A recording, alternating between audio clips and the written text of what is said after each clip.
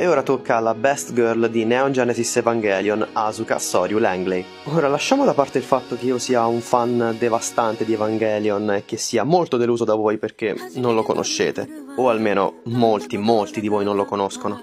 Ma se siete degli otaku, o almeno pensate di essere degli otaku, questo personaggio dovreste averlo visto almeno una volta nella vita.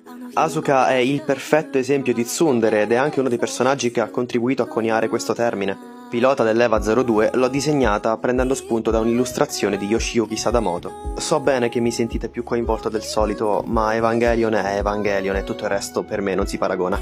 Mi piace così tanto parlarne che non vi ho neanche detto nulla sul disegno, che boh, spero vi piaccia. E niente ragazzi, se c'è qualche fan di Eva tra di voi, fatevi vivi, ditevelo, urlatemelo perché ho troppo bisogno di voi.